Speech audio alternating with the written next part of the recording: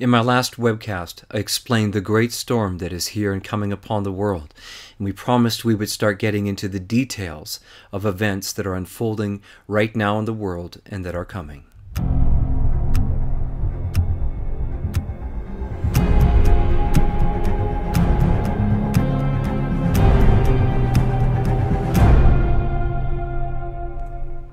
Well, before we go any further, I want to invite my co host from the Palatial Studios in Albany, New York. Please welcome to the webcast Professor Daniel O'Connor. Good to be here as always, Mark. Thanks. It's um, it's true. We've been getting a lot of letters. I have. I'm sure you have as well, about people asking for more about what's coming. We've got this timeline up and countdown to the kingdom. We've hopefully convinced you in our first webcast that it is uh, not ridiculous to consider and to believe that we are in the end times. So now that we realize we're in them, let's take a look at what heaven has said, what scripture says, and what the signs of the times are indicating about these seals that are about to open up. That's right. And for those of you who don't didn't see my previous webcast, uh, I'll just summarize it this way: is that um, as I sat down one day to read Revelation chapter six, uh, the, I remember the Lord just speaking in my heart, saying, "This is the great storm like a hurricane that is coming upon the world. You'll want to see that webcast explaining the great storm. That'll make more sense to you, the, the context. But the timeline that Daniel's referring to is this from our um, website, countdowntothekingdom.com, and you can see there we have a graphic of this great storm, like a hurricane, that um, and we've laid on it all the different events that are coming according to the scriptures, according to the early church fathers, according to the popes and also Daniel in tune with private revelation. And all of this has formed a prophetic consensus of a great storm that is now here and unfolding in the world. And that's what we're going to talk about, starting with the seven seals in the book of Revelation in chapter 6. And maybe, Daniel, before we do that, I've got sitting in front of me the book of Revelation, and mm. I, hmm. I, think we need to read this scripture. I think we do. Yeah, I just saw this yesterday and it jumped off the page. I've maybe only read it once before in my life. I don't know why I haven't read this. But this is in chapter 1 of the book of Revelation, verse 3. Blessed is he who reads aloud the words of the prophecy, and blessed are those who hear and who keep what is written therein, for the time is near. Wow. Because right now, Daniel, it seems to me, well, we know, we believe that we are living already in the first seal of the book of Revelation. And on our website, that is called the time of mercy. And so that's what we want to talk about. So, Daniel, why don't we just start right now? Jump right in and go right to Scripture, the book of Revelation. Blessed are you who are going to hear this, and blessed right. is Daniel for reading it. We're going to read to you now. Blessed are all of us for this, for taking this seriously, which haven't, you know, it doesn't say there, blessed are those who write this all off and pretend that the end times can't possibly be their generation. No. So we're going to take this seriously. So we're skipping five chapters ahead now. That was that was right in the first paragraph of Revelation. This this reminder that you are blessed to to read and he, uh, to read this. So now let's take a look at the beginning of the sixth chapter. Then I watched while the Lamb broke open the first of the seven seals, and I heard one of the four living creatures cry out in a voice like thunder, Come forward. I looked, and there was a white horse, and its rider had a bow he was given a crown, and he rode forth victorious to further his victories. All right, so what Daniel is reading right now, you'll see in the top left hand corner of your screen, is the first seal. And we have labeled it the time of mercy, and we're going to explain to you right now why. Because that scripture, many people in, you know, people who have done biblical exegesis, who've talked about these things, who've looked at them, they, they look at the four riders of the apocalypse as all of them as riders of doom and gloom. But we want to present to you a different viewpoint today of this first rider, the rider on the white horse. But you know, it's not our viewpoint. What we want to share with you right now is the viewpoint of a pope. And so, what we're going to do is just go to the website, and you can do this as well. You don't have to do it now, but you can click on each of these tabs that were, you know, the first seal, for instance, click on it, and you'll have these descriptions that we're talking about in the show. So, you this is your reference. And we want to just turn to the scripture now that, the, that Daniel just read. And here's the interpretation of Pius the Twelfth. He says this rider on the white horse is Jesus Christ. The inspired evangelist, St. John, not only saw the devastation brought about by sin, war, hunger, and death, that is, the coming seals, he also saw, in the first place, the victory of Christ. And Daniel, I, I love that because really what the Pope is saying, he's giving us a vision that this great hurricane that is now beginning, this great storm beginning to unfold in the world, is led by Jesus, that Jesus is the one who is leading this in order to maximize the the most amount of victories that is victories souls. That's what this is all about. Those are the victories that matter. This is about the salvation of souls. This isn't about keeping you know the the present order nicely and neatly and keeping the status quo. Jesus wants us to be with him forever in heaven and he'll do whatever it takes to most effectively achieve that end whatever it takes. And if chastisements are the only possible way if he's tried everything else first then that's what he's going to have to do. If if we force his hand he wanted to do it an easier way. He wanted to do it by way of love but so far mankind has by and large yeah. rejected those invitations. You know and, and, that that that's so important for you for us to understand this those who are watching is to understand god is love. So his very nature is to want the best for us. And what is a, a unfolding right now and about to unfold in the world you know, the Lord doesn't want to go this way. And Daniel, uh, right before the show, we were talking about some words Jesus spoke to Louisa, servant of God, Louisa Piccarreta. And maybe mm. right now would be a good time to read what Jesus has to say about how he wants yeah. to triumph in the world. And there is a triumph coming of the church and of Christ in the world. And if the Lord had his way, as you're about to hear, it would have been through just mercy and love. Mm. But he has a plan B and let's see what he says about that. So this is to the servant of God, Louisa Piccarreta, on November 16th, 1926, from her diary. Jesus tells her, The chastisements that have occurred are nothing other than the preludes of those that will come. How many more cities will be destroyed? My justice can bear no more. My will wants to triumph. It would want to triumph by means of love in order to establish its kingdom. But man does not want to come to meet this love. Therefore, it is necessary to use justice. Yeah, I mean, there we are hearing the Lord telling us his will is to is like a father would be to bring us into the fullness of the plan of salvation through mercy and love. But it is we, as I explained in the previous webcast, explaining the great storm, this is a man made storm in the beginning. We are reaping what we have sown. We are reaping, we have sown the whirlwind, and now we are Reap the reaping the whirlwind. And this is why we say in our tab that we are now living in a time of mercy. And there's a reason that we're saying this. And that's because in 1917, Our Lady appeared to three children at Fatima. And she, um, she, she warned them. She said, this time you are now. I mean, it was grave. I mean, Our Lady was appearing in other apparitions beforehand, but now it seemed that we had reached a pivotal point.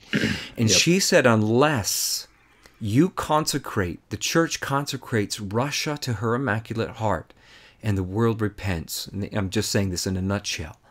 Unless this happens, she said, Russia will spread her errors throughout the entire world. And why this is really interesting, Daniel, that she said that was because the communist revolution hadn't come yet. Right. So no one knew what she was talking about. What does she mean Russia will spread her errors throughout the world? The errors she was talking about was the errors of communism, Marxism, socialism coming together to, to into the communist movement that would then grip Russia one month later after that apparition. So what Our Lady was saying, Daniel, is that if we did not repent, if we did not consecrate Russia to her, give it to her, that this revolution in Russia would then spread throughout the entire world in a global revolution. And that is exactly what is happening right now. As I said in my last webcast, this great storm now spreading throughout the world is this global revolution. And the reason is because we didn't listen, we didn't heed the call of Our Lady at Fatima. And one of the things that happened at Fatima, Daniel, was a warning, a vision that the kids have. And maybe you could share that with yeah. what those seers saw. Yeah, so we are we are uh, claiming that the time of mercy really began then, and here's why. As you may recall, if you've read about Fatima, the angel appeared with a flaming sword, ready to chastise the world. What happened then? Did the world get chastised in that manner? No. The flaming sword did not touch the world, even though chastisements of some degrees, of course, did follow. But the flaming sword did not touch the world because it was stopped by rays of light coming from Our Lady.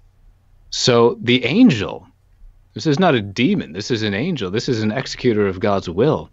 So, in a sense, God's will was really that the chastisements start at that point. Mm-hmm. But they didn't. And what does that mean? That means that there was an even deeper dimension, even deeper dimension to his will there, which was that something else begin, the time of mercy, which began then and which we're now nearing the very end of. That's right. And so, with the angel, with that chastisement being stopped, Daniel, we entered into a time of mercy. And if we go back to our timeline, we want to, you to hear what Jesus says. So, we've entered into a time of mercy. You heard about this first seal, the rider on the white horse wearing a crown. Now, listen to what, about 15 some years later, what St. Faustina says. She said, that I saw the Lord Jesus like a king in great majesty, so like a king wearing a crown, looking down upon the earth with great severity. That's how severe this point in history has become. But because of his mother's intercession, he prolonged the time of mercy. You know, I just got to stop right there, Daniel, because I'm just thinking, what if he hadn't? We may not be here right now. Right. Right. We may not be here. But Jesus then said, let the greatest sinners place their trust in my mercy. Right before I come as a just judge, I first open wide the door of my mercy. The door of my mercy. He who refuses to pass through the door of my mercy must pass through the door of my justice. And if you look at our graphic on our website, you'll see that in right in the center there, the door of mercy, the labor pains that we are now passing through, this is going to be God's way of, as that first seal says, that rider on the white horse riding on to new victories, shooting his arrows of love and mercy into the hearts of as many people as he can, even using the suffering that man is bringing upon himself in this time of mercy and this is enormous. I mean look this this is not that by saying this is a time of mercy we're not making just a general reference to the age of the church. Sure in a sense the entire age of the church is, a, is an age of great mercy. We're talking however not about that in general right now but about very specifically the the age the era in which we're in right now. Um, this door of mercy uh, look at the holy year of mercy. Look at the papal bull by which Pope Francis instituted it, he specifically referred to doors of mercy being opened. And unlike any holy year in the history of the church, a door of mercy was opened in every diocese in the world. Yeah. And I mean, it is a it is almost a word for word reflection of Saint Faustina's diary. Yeah. Saint Francis, uh, sorry, Pope Francis clearly had that in mind when he was instituting this holy year. Because guess what? A couple years earlier in 2014, he said, I quote, We are here to hear the voice of the Spirit speaking to the whole church of our time, which is a time of mercy. I am sure of this, he said. It is not only Lent. He gave these uh, these remarks during Lent. We are living in a time of mercy and have been for 30 years or more up to today. So, you know, as as you've heard from us already, Mark and I are strongly of the opinion that it was more than 30 years, but still, Pope Francis is saying we are in a very specific time of mercy now. He he knew that. And then he goes on to refer to blessed, at that point he was only blessed, John Paul II, realizing the same thing, tying that into St. Faustina and Pope Francis tying it into St. Faustina. And then this Holy Year of Mercy, specifically reflecting the language in the Divine Mercy Diary about the door of mercy first opening up and then the door of justice. We are on the very cusp of that time being over. Oh yeah, well said, Daniel. And I'll tell you, folks, this is why. There's there's more to this than just the fact that it's it's mankind falling into sin, but the reason we have reached such a huge, um, you know, of biblical proportions, is that the popes were warning. They were saying to us that there is coming a global revolution. What Our Lady said at Fatima, the popes were already beginning to warn. And that's why when you, you go to our timeline and you see this great storm, it's also representative of this global revolution, and the popes were warning that this was coming. And we just want to take a moment right now to go to those words of what the popes were saying in the late uh, 1800s. So this is in the 19th century. And we turn right now to Pope, uh, this is Pope Pius IX. And he said, you are indeed aware, he said, that the goal of this most iniquitous plot is to drive people to overthrow the entire order of human affairs and to draw them over to the wicked theories of this socialism and communism.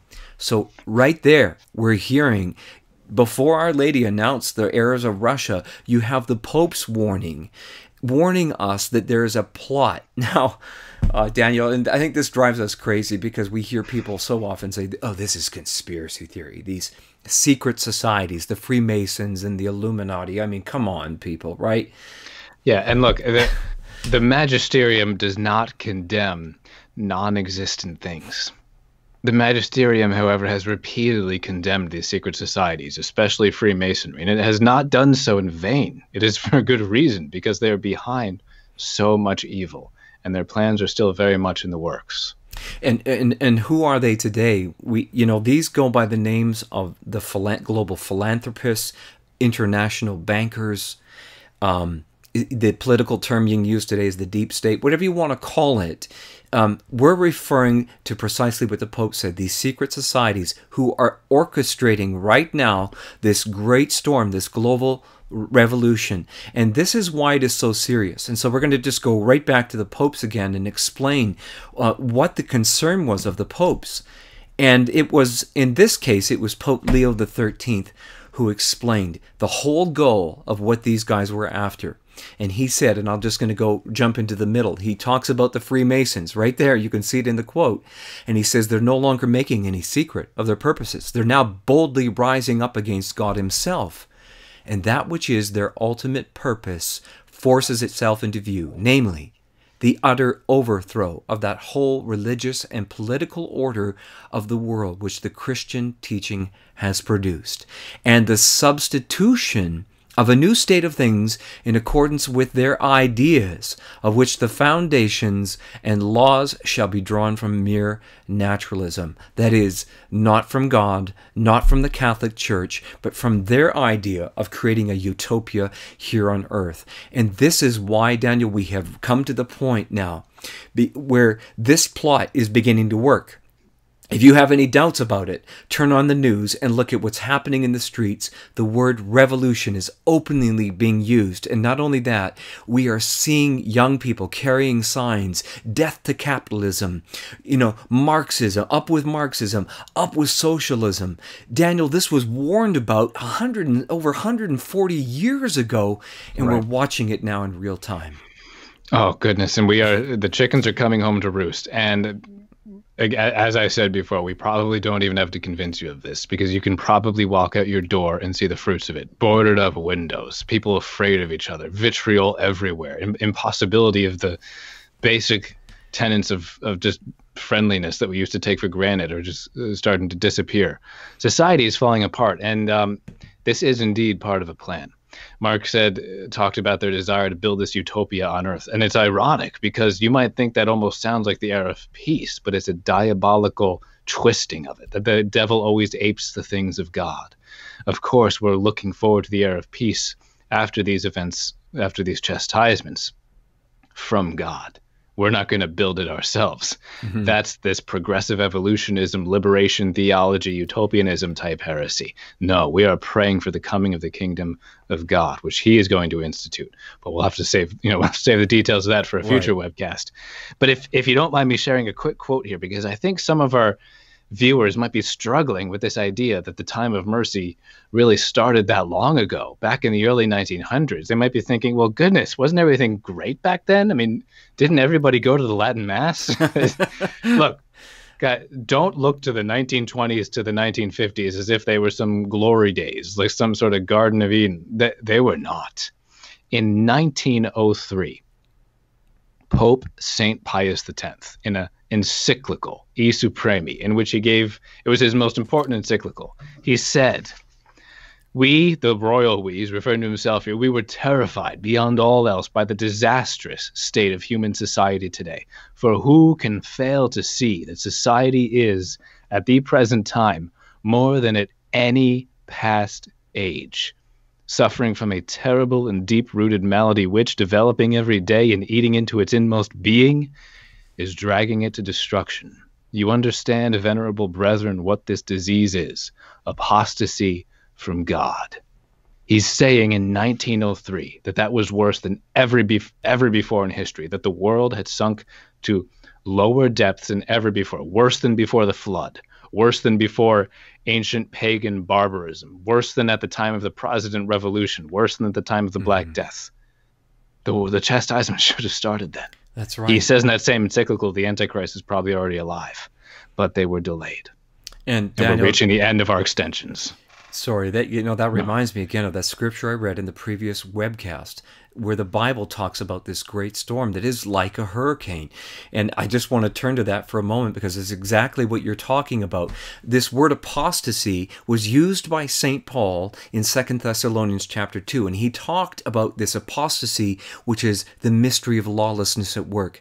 And if we go again to Wisdom chapter 5, verse 23, it says, A mighty wind will rise against them, and like a tempest, it will winnow them away. That will sift us lawlessness, there's that word, will lay waste the whole earth, and evil doing will overturn the thrones of rulers. There you have the scripture right there from the book of wisdom telling us that the whole goal of this iniquitous plot of these secret societies is to overturn the thrones of rulers, political rulers and church rulers, and from this create a whole new world order.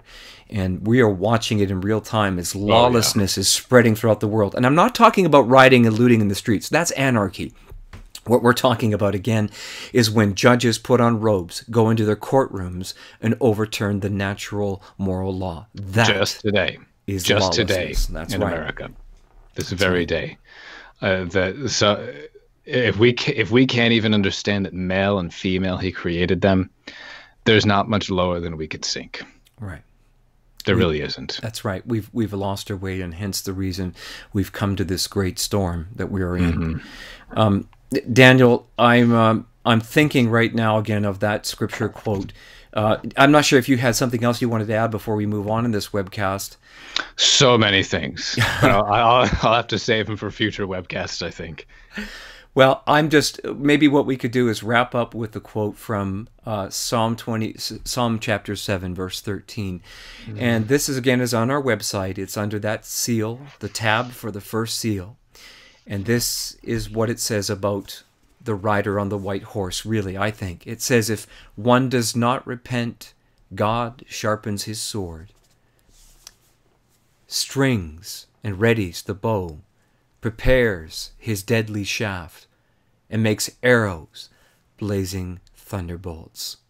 Understand this, my dear brothers and sisters. The Lord would not allow this storm to come forward unless we were pushing it. We were the ones bringing it about, and that is the case. Because as it says, if we do not repent, it's the Lord has to ready the bow. The, the arrows of love and mercy, they're not working. They're not turning our hearts back to God. We are now, we've pushed God out of society. We've pushed him out of our legislatures. We've pushed him out of the courtroom. We've pushed him out of our schools. And we have now brought this great storm upon ourselves. And so it's time for us to get ready, Daniel, for the fun, right. the, the coming seals yeah. that are there.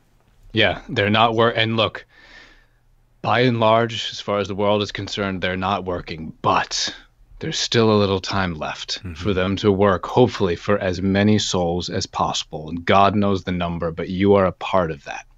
You are a part of proclaiming the divine mercy while there's still time left in the time of mercy.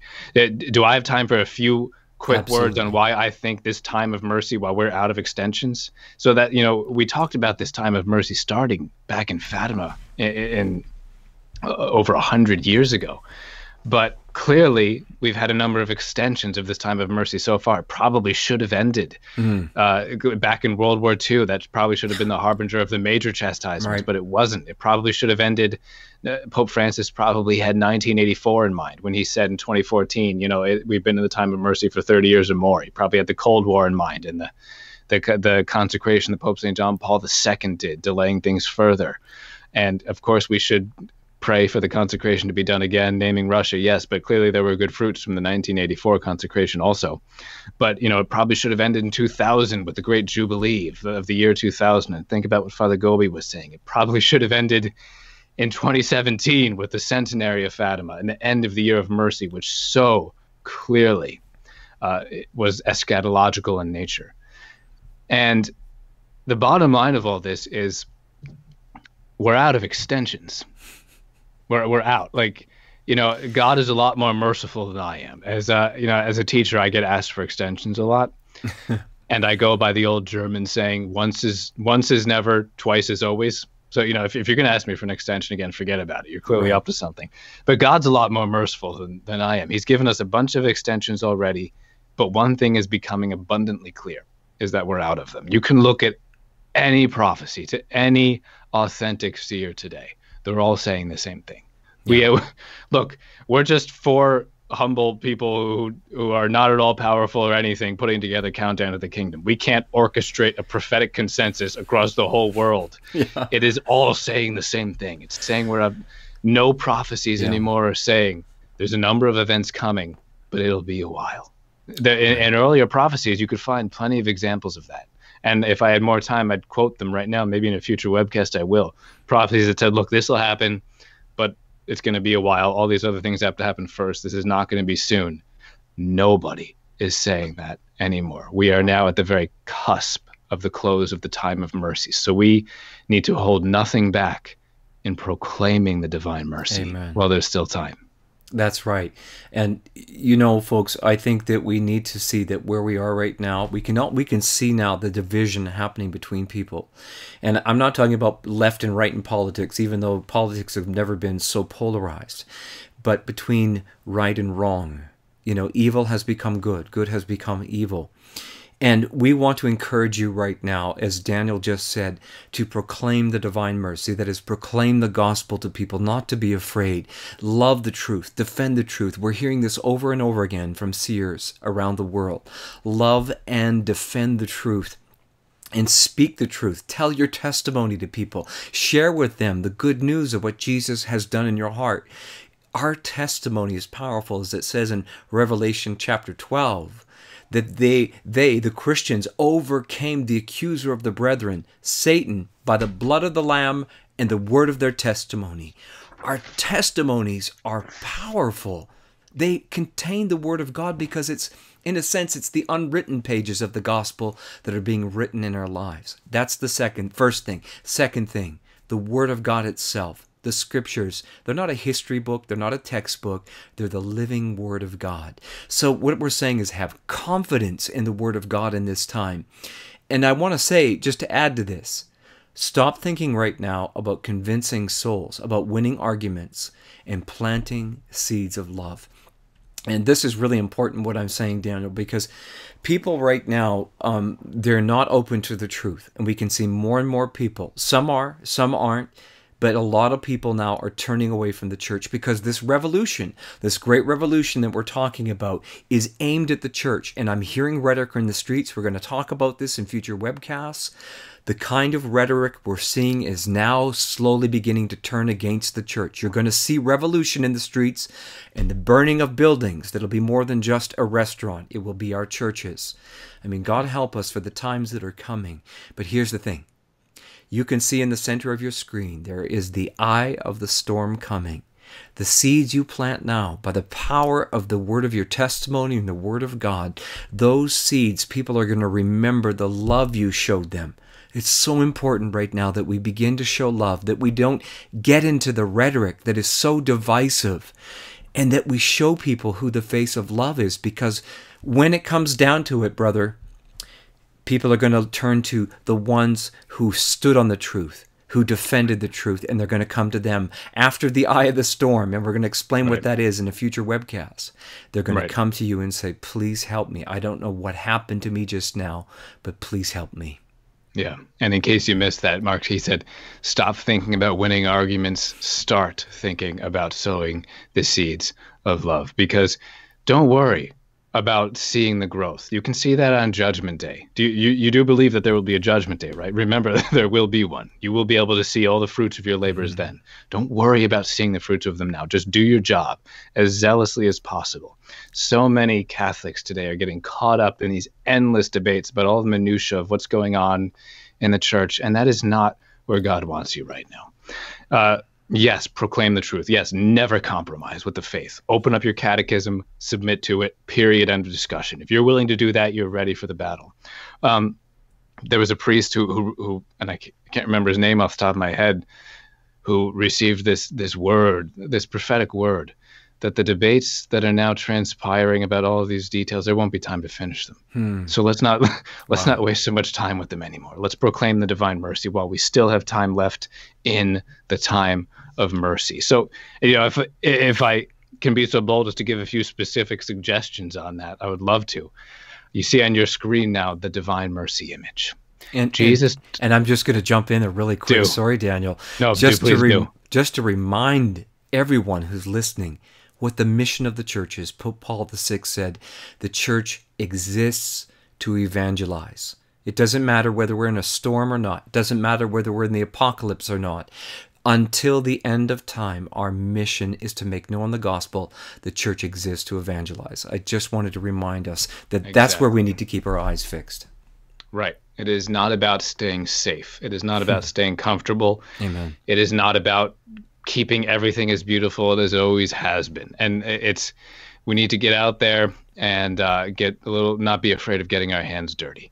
Get this message of mercy out there. Oh my goodness, there are so many souls perishing for lack of other souls willing to invite them into the divine mercy. the number my people knowledge. perish for lack of knowledge. the, and and lack of just mm-hmm. the harvest is plentiful, the laborers are few that's not that's referring to vocations yes but not just that. It's also referring to just how few faithful souls there are willing to bring this message out to those who have not yet heard it adequately proclaimed.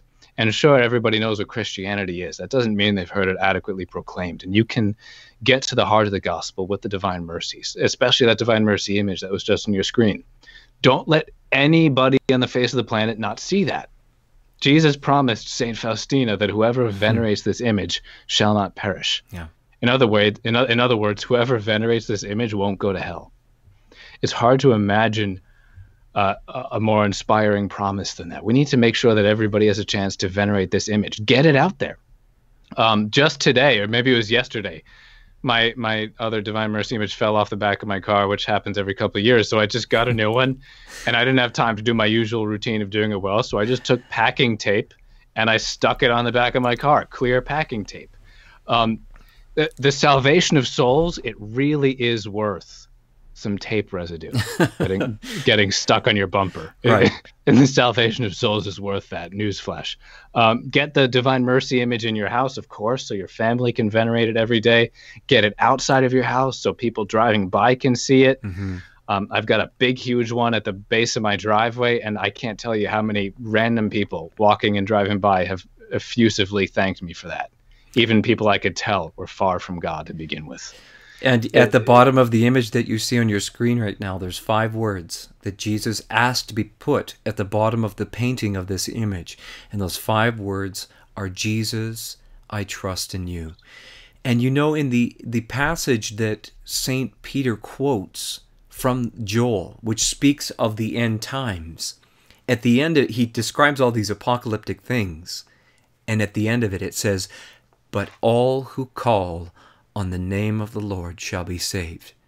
You know what? When this great storm hits in its full force, and it's not that far off, folks, we are we are beginning to feel the first winds.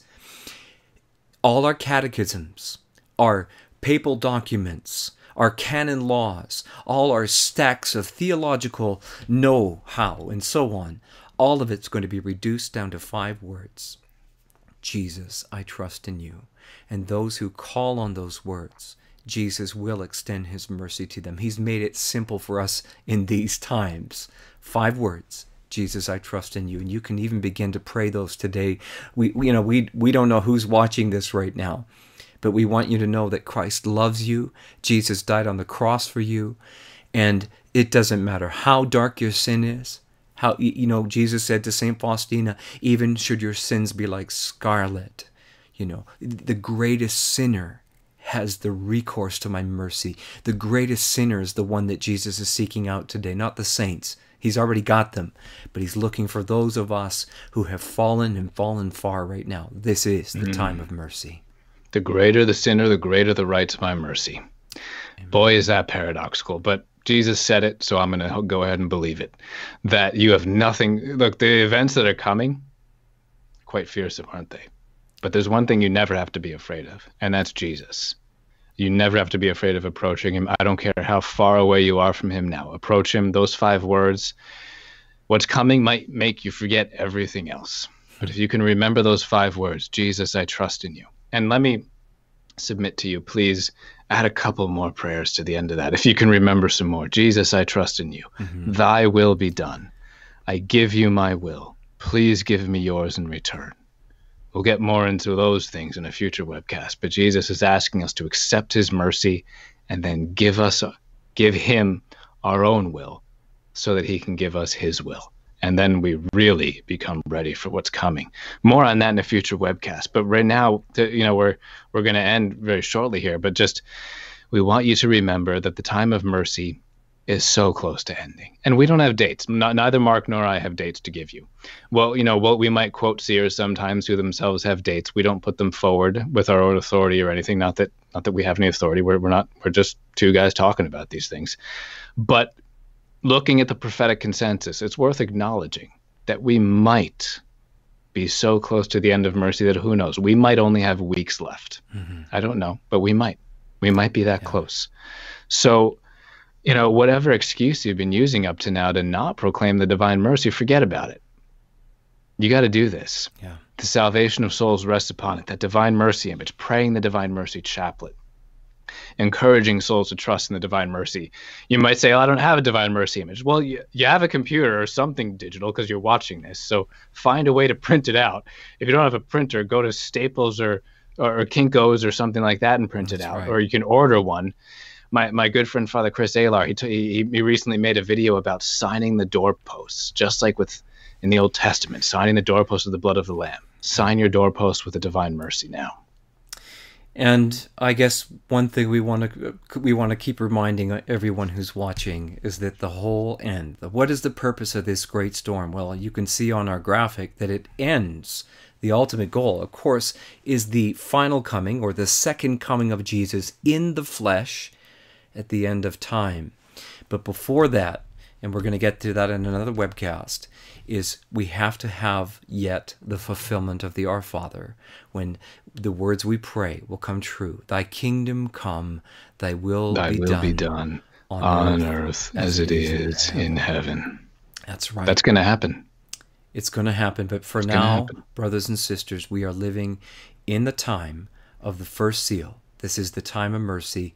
And in our next webcast, we're going to get to the second seal now because all the signs are there that we are on the threshold. We can hear the war drums that are beating and about to shatter peace in the world. So, from Daniel and I, both, we are praying for you. Know that we are always praying for you. Please pray for us and know that we love you and we're doing this for you. Pray for us that God will continue to give us the wisdom to be able to explain these things in these difficult times and remember five words Jesus, I, Jesus, trust, in I trust in you. God bless you. God bless.